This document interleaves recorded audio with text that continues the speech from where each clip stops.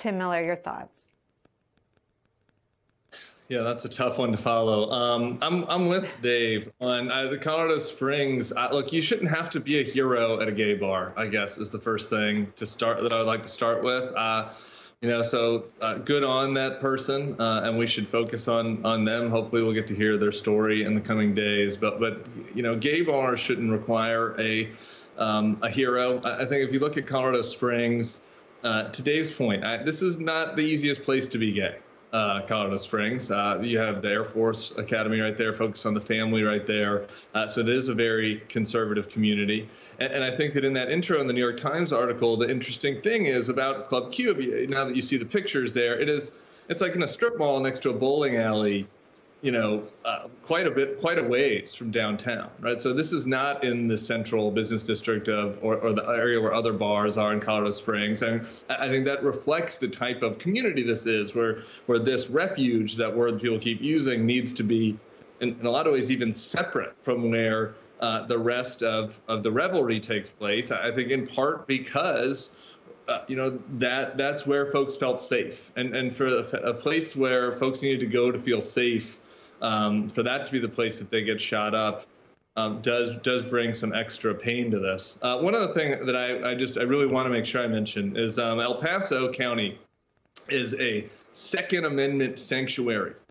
So Colorado passed a red flag law. Jared Polis, who's been a really great governor in Colorado, uh, passed a red flag law. And in 2019, the county that Colorado Springs is in passed a, a law that made them a sanctuary from this red flag law so that people so that when people ask now why did why was this guy who had called in a bomb threat on his mother apparently uh, allegedly a year prior you know able to purchase this kind of high powered weaponry? And, and and part of the answer to that question is that Colorado literally tried to pass a law to stop a shooting like this and yet local republican politicians in El Paso refused in some ways may not refuse to abide by the law, but, but are going out of their way to not abide by the law.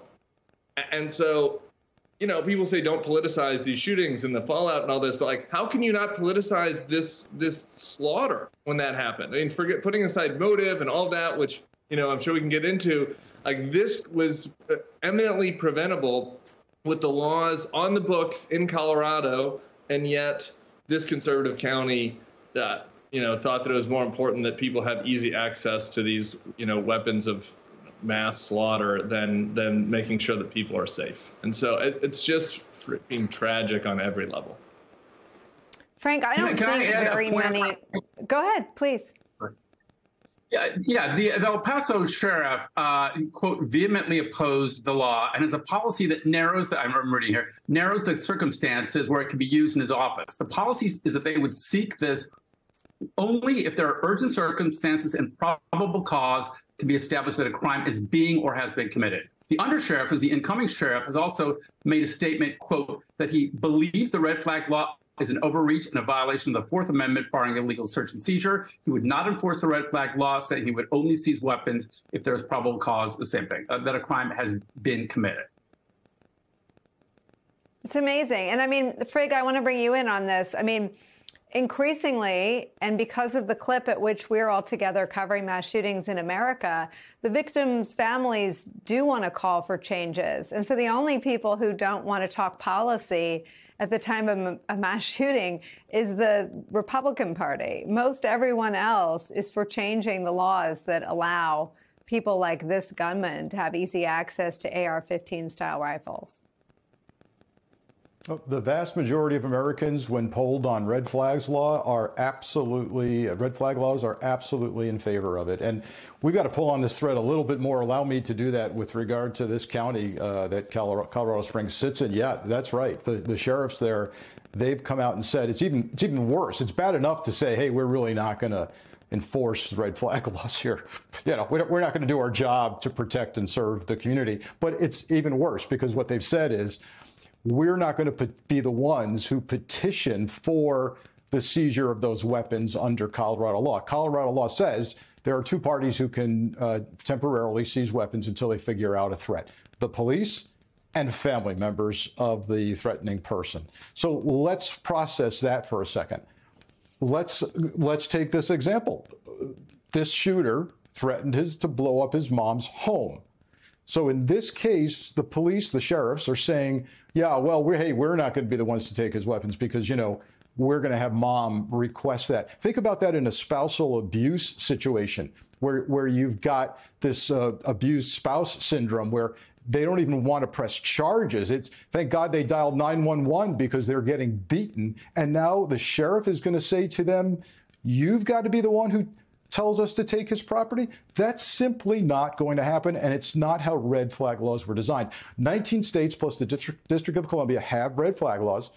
Recent reporting and research shows they're being woefully underused, and particularly so in Colorado, and even more so not used in this particular county. So you can have all the laws in place, but if you've got sheriffs who simply don't want to protect and serve their communities, this is what's going to happen. The other thing I want to comment on is the predictability and inevitability of this. The Department of Homeland Security in, in recent bulletins has warned us about the increased threat to the LGBTQ communities, particularly pride events, um, and high profile events. So we, you know, it's not like we can say, hey, we weren't told. When when the reporters, even on NBC, are are interviewing people in the community, they say, you know, I heard one person say, I stopped going there because we we we thought this was going to happen. We just we just saw it coming in this particular community. So inevitability, predictability, and then the lack of intervention, even when laws allow them to do something. Now, can we predict that with this person's uh, encounter with law enforcement last year regarding this bomb threat, that if they took his weapons, this would not have happened? No, we can't predict that. But it would have put him on the center of the radar screen for law enforcement and would have lessened the likelihood. Um, and, you know, woe be unto the sheriff if we find out that the, the long gun used in this murder spree was sitting in his house last year when police interviewed him, and they had a chance to take it, and they didn't take it. You know, um, Madam Senator, not everybody who consumes right wing media carries out a violent act, but everyone who carries out a violent act targeted at any minority group, in this case, this bar, um, has hate in their hearts. And this culture of hatred is, is not confronted in the way you confronted it with enough frequency. And not enough people are nipping it in the bud. And so it sits out there. And you have the man who beat Paul Pelosi was an avid consumer of conspiracy theories.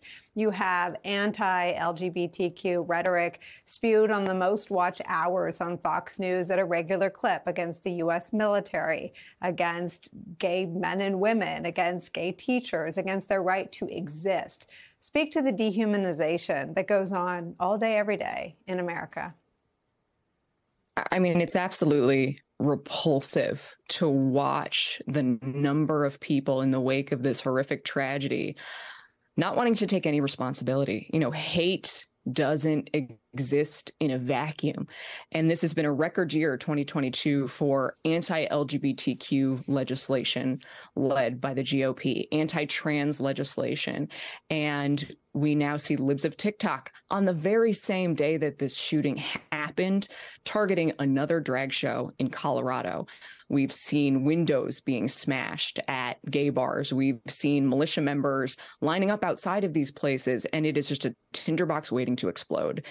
There are consequences for words and actions. You cannot scapegoat and dehumanize an entire group of people and not expect that something terrible is going to happen. So, somebody like this person, yes, we don't know the motive yet, but this is clearly a hateful person. And when there is a constant drumbeat out there from respected elected officials, from respected messengers, from TV networks saying that these people are wrong and they're trying to damage your children people are going to take action. This is straight out of the QAnon playbook, where we saw a shooter open fire in Comet Ping Pong, believing that there was a basement there that contained children. And this exact same language of grooming and pedophilia targeting the LGBTQ community, it kills. So anybody who's out there claiming free speech or trying to distance themselves from it, yes, we have free speech in this country, but it has consequences and you can't take part in this continued onslaught of words against the LGBTQ community and not look at this and have blood on your hands.